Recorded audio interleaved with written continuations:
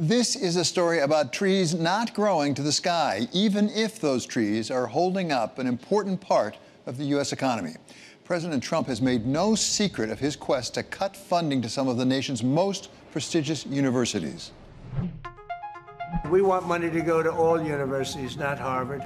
They have $52 billion.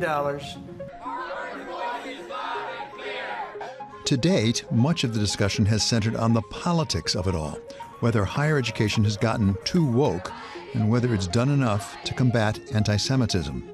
Anti Semitism, pro Hamas protests, uh, an environment where students can't learn. Why should taxpayers, okay, around the country be funding uh, a private university? As a physics and chemistry concentrator. But the president's actions have put into question a massive long term partnership that has supported exceptional U.S. innovation over the years a partnership between the government and higher education in the funding of basic scientific research. We have had a terrific system of innovation in the United States. Rafael Reif served as the 17th president of MIT after heading its Department of Electrical Engineering and Computer Science. It actually goes back to 80 years ago. Uh, it started with a fellow named Vannevar Bush that created something called the Endless Frontier Act, which was really a social contract between the federal government and universities. The federal government funds research in universities, scientific research, advances knowledge, and, and we do it here. And at the same time as we do that, we educate the leaders of the future who bring that advanced knowledge to the marketplace. And that has been at the heart of a terrific ecosystem of innovation in this country that has lasted up to this day. U.S. government funding for university research had its origins in efforts to win World War II and led to the development of new technologies such as radar and the atomic bomb. From an annual investment of $253 million during the Korean War in 1953, it exploded to some $60 billion as of 2023. But now it appears that this unique partnership may be up for grabs. What we have had the last 80 years doesn't seem to be coming back. I think the changes that the government is making right now are going to be very hard for any future government, even if it's a very receptive to uh, supporting science, to, to make it reversible. We have to understand that these changes are very severe and we have to figure out a new financial model to continue advanced research and advancing science, which is at the heart of what we have been successful as a country. Before we can figure out what comes next for funding of basic research, we need a firm understanding of what the existing system has brought us. Lily Lyman is a partner at venture capital firm Underscore VC, which is, not coincidentally, based in Boston, along with dozens of colleges and universities and 350,000 college students. The university enterprises are an important part of this of this ecosystem. Over a third of our portfolio comes from places like Harvard and MIT because of this talent density and the interesting research coming out of it. So for us, it's a really important part of our sourcing strategy, and it's an important contributor to the innovation economy here in Boston. One of those benefiting from that innovation economy in Boston is Quilt Health a digital startup backed by Underscore that seeks to put patients, clinicians, and researchers together to address complex medical conditions such as sickle cell disease. Its founder is Dr. Andy Ellner, who comes out of Harvard's Brigham and Women's Hospital.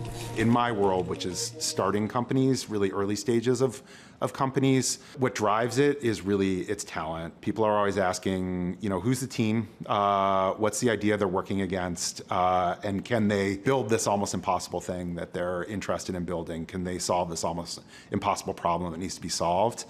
And so, you know, a place like Boston is just a hub for, you know, really talented people, really ambitious people. And when we were looking to start Quilt, it's my second company, you know, we made the decision. We, we wanted to start it here. We wanted to be based here. You know, it's hard to start a company. It's hard to build a company. And the, any advantage you can have, you, you, you want to take. And I think just being part of this ecosystem, being in the flow of talent and ideas is really critical to solving the hardest problems. The key ideas come from places that are thinking in novel ways clearly without spectacular companies that know how to fine-tune those ideas and how to employ them, how to take advantage of them, how, how, to make products and services out of them, we don't have the economy we have. So companies play a critical role in moving the best ideas and implementing them in products into the marketplace. But the basic ideas, most of those in the high tech and the academic medical centers, they come from research and academia that is federally funded. President Trump and his administration have challenged uh, some of, I think, basic premises of that structure you describe of funding of basic research in universities. What is at stake if, in fact, they pull back from that funding over the longer term? Are we seeing disruption already? It's a terrible outcome. If we stop paying attention to the funding of scientific research, the funding of basic science research, um, we really are burning our future. We are really killing our future. Are we losing some benefits of scientific research already as labs suspend their activity? Very much so. I mean, there is quite a bit of research that has been stopped. And, and research in academia, stop start doesn't work. Once you stop something, once the laboratories close, once we lose the people, once we lay off people who have the experience and the expertise on the research we're doing, we lose a tremendous amount. Some of that has already happened. I tell you one thing, I think that even that we have lost quite a bit already, we still have an opportunity to just figure out how to fix the situation and not continue in the path we just, we just got started. But I'm telling you, I honestly think that a couple of years of this, and this is irreversible. We're going to lose our, our advances, we're going to lose our future, we're going to lose our competition with China. So, despite you know the headlines of what's been going on, um, you know the first half of 2025 was actually quite strong in the Boston startup ecosystem. We continued to see a lot of activities. We continue to see a lot of startup funding. But obviously, the headlines and the and the pause in funding and research has been very disruptive. We've seen really important uh, research, particularly in the world of healthcare and biotech, get paused. There have been job cuts, and there's just been a general environment of volatility the last couple months. From an underscore perspective, we our deal flow has remained consistent. We continue to see these exceptional teams coming out of this ecosystem, and the, the entrepreneurial spirit and and the uh, capabilities and technological unlocks are still quite strong. What will be important, though, is you know, in any innovation economy, you have multiple pieces to it. There's a talent piece to it. There's a research piece to it. There's a funding piece to it, and obviously, the federal funding is an important component to the research dimension. So, what we will need to do is find alternative sources of funding. What are those alternative sources of funding, and have they started to kick in yet? Lyman says there's some reason for optimism. We are seeing that. You know, there's venture capital firms like ourselves, particularly at the early stages, uh, but we also see some of the larger private sector companies in the life sciences space, in healthcare, uh, in insurance that can pour funding into this. And then there's also later stage funding. I think a good example is if you look at Commonwealth Fusion, which is a, an MIT company, they just raised over $800 million from Google. Uh, that was announced in the last couple weeks. That's critical for them to continue their innovation to, to bring clean energy to this nation. So there is alternative sources of capital. We're starting to see it flow in. Again, it will follow innovation and big opportunities, and we hope to see more of that continue. Although firms could fill some of the void left by the federal government, Professor Reif warns that private companies cannot be counted on to pick up the full $60 billion tab being paid by the U.S. for research, particularly the type of basic research that universities specialize in. There is, of course, research done in corporations, in companies. But most of that research in companies is done on a roadmap of products. The company is thinking that in five years from now or 10 years from now, I need to have this product ready. So the research is being done focused on getting that product ready. Federally funded research in universities is actually uh, to advance knowledge. It's not for a particular for profit purpose, it's just to advance knowledge. And out of doing that, many of the ideas that eventually industry uses to fine-tune their products is coming from university research. So we have benefited in the last 80 years from this terrific system and not having access to that or, or stopping access to that is going to basically kill the source of ideas that will power the economy for the next 80 years. Cutting back on the basic research that's powered the American economy since World War II would be a problem at any time. But it's particularly an issue now when the U.S. has a strong economic competitor in its rival, China. The presence of China is critical here because we have had, as I mentioned, uh, the best system of innovation in the world with our knowledge economy. However, we did not have a competitor like China before. We were the only kid on the road just doing all this stuff. China comes along, they have a different model of innovation than America. We have a market oriented model. China does not use a market oriented model, they use a technology domination model. They have to focus on dominating a particular technology.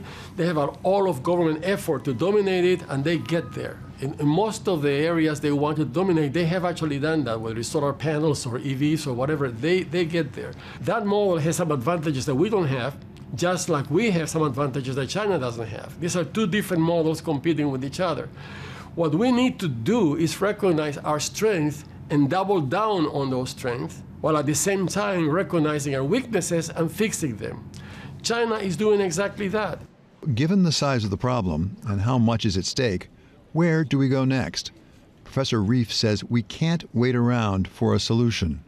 So I see a long term track, which is figure out a new model but I figure out I, I think we need a short-term emergency fund to make sure that as, as much of the fraction of funding cuts the government is doing in science research, we can just bring that back. And I think it's critical that state governments play a role on this. It's critical that state governments bring the private sector in the, to figure out how to add funds to this emergency fund. It's critical to universities to contribute. So I think there should be a, a plan right now that's particularly states like Massachusetts, like, like Washington State, uh, states that have significant knowledge economy. They have to start working on how to figure out to have an emergency fund for a couple of years, two, three years, while we figure out the long-term plan there is a journey, and it's in, from the cutting edge research where it's still a little bit gray, then you figure it out, but there's still an element where you have to figure out a viable commercial model, and that can take a really long time. There is a lot of venture capital here in the United States. We have the biggest venture capital ecosystem in the world, but we need to make sure that that capital is, is creating structures and mechanisms for that messy middle before it's obviously commercially viable and scalable. And sometimes that's venture, but sometimes it is university, sometimes it's philanthropic, um, and sometimes it's private sector, but we want to make sure that that is all sort of US based or US driven capital in order to get it through that entire sort of process of development. And, and you can't sort of cut out pieces of it or else it'll break the whole system. Short term or long term, ours is an ecosystem of innovation that's been growing for some 80 years.